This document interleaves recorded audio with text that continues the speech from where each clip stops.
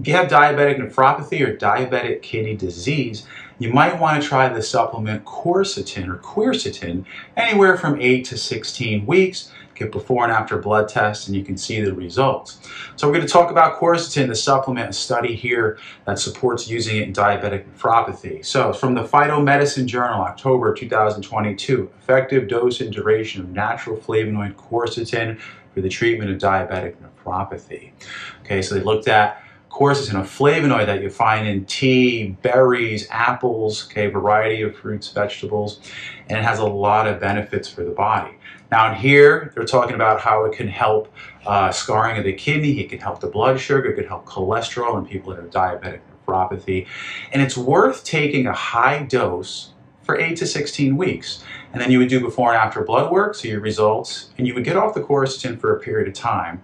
And then you can get back on it again for like 8 to 16 weeks probably you should get off of it for about six weeks.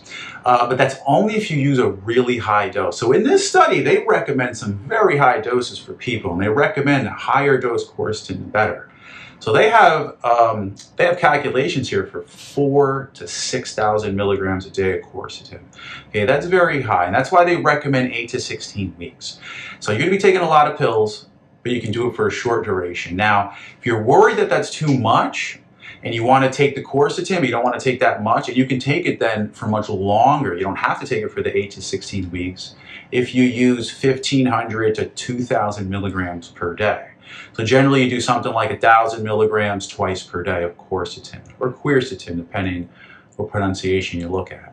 A lot of brands out there, now food is one I recommend, uh, Protocol for Life, Pure Encapsulation, but there's a lot out there.